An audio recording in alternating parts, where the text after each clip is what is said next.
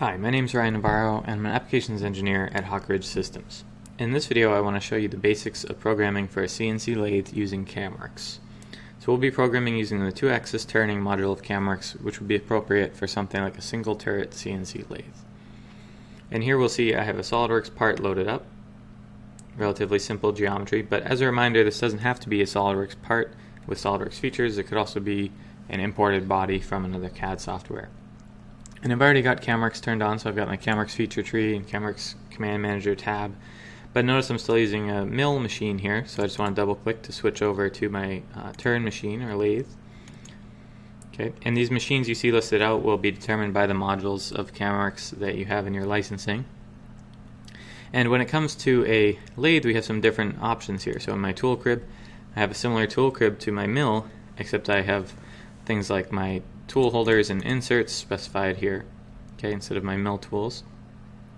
We have post-processing and posting tabs as usual, and we have this additional chuck tab where we can actually control the setup uh, of our lathes chuck. Once our machine information is defined, I'll go ahead and look at my stock. So we can see for my lathe, my stock is defined cylindrically, and I can control offsetting material in different places if I want. Okay, we can have cord stock if we want to, and these other options we have here are for things like if we want to specify some odd shaped stock, we could do that using a revolve sketch, using an STL file, or using another SOLIDWORKS part file to define as our stock.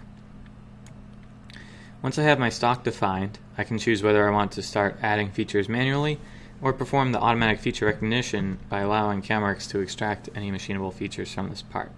So let's run automatic feature recognition and we'll find that Camworks does a really good job on these turning parts of finding the individual features. So we have a face feature, an OD feature, a groove, and a cutoff feature all within one turn setup.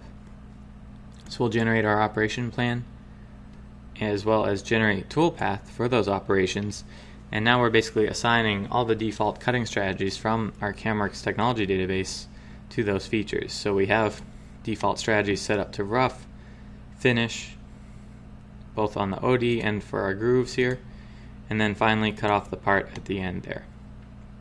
Okay, and you can see maybe I don't have enough stock protrusion, so I could go back to my stock manager and add a little more stock to the back, regenerate my toolpath, and now my cutoff operation will be clear of my chuck.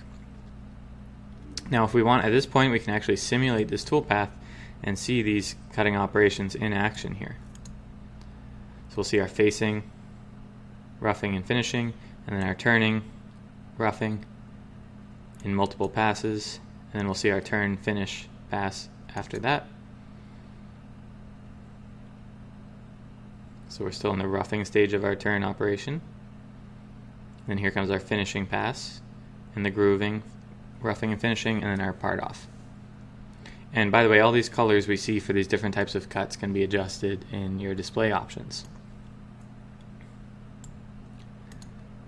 And of course, even though all these operations are generated automatically based on those defaults in the database, we can go in and adjust anything that we want. So I could double click my turn rough operation here, and I'll see just like in my mill, I get a preview of my insert and my holder so I can look specifically at the insert if I want to, see if maybe I need to use a smaller radius or adjust my insert angle.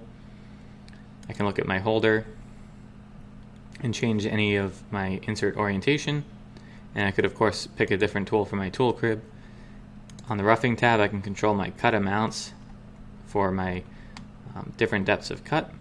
I can turn on canned cycle support if I want, and control the allowance, which is the material I'm leaving over for my finishing pass. And I could have multiple finishing passes if I want to, or I could cut straight to the true shape uh, with just one pass, with my roughing pass, by removing this allowance.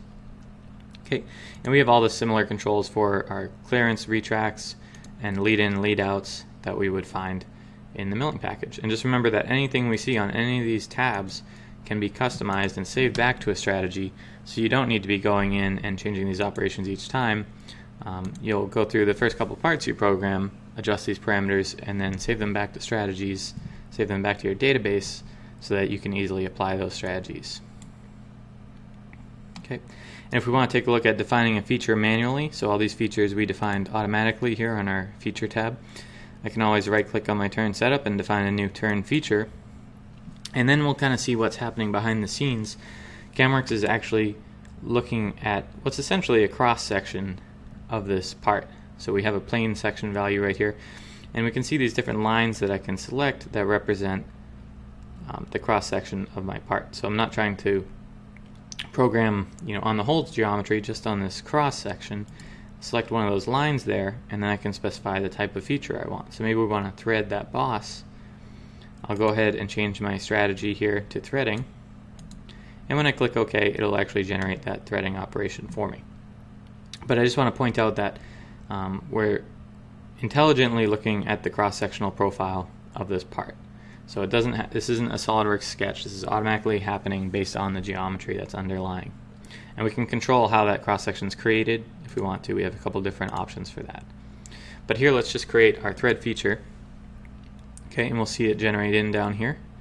And I can go ahead and look at the thread size it's choosing. If I look at my parameters, okay, we can see some of the characteristics of this feature. And we'll see the thread sizes it's choosing here. I could override these with some custom thread size if I want but I'll click OK and generate that feature. Generate the operation plan. We'll see it gets placed below my cutoff feature, so I just, just make sure my order of operations is correct here. I can always drag that above my cutoff feature and then generate that threading toolpath. So now if we simulate, we should actually see the actual threading that's happening in real time. So there's our threading passes.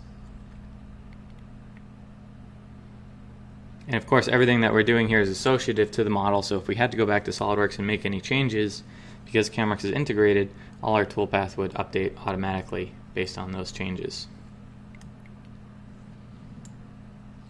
And once we're happy with our program, we can go ahead and post-process it out to G-code. So I hope this video was helpful for you to understand a little bit about CamWorks turning, and it's really very similar to our milling modules, um, just brought over to CNC lathes. So thank you for watching this video.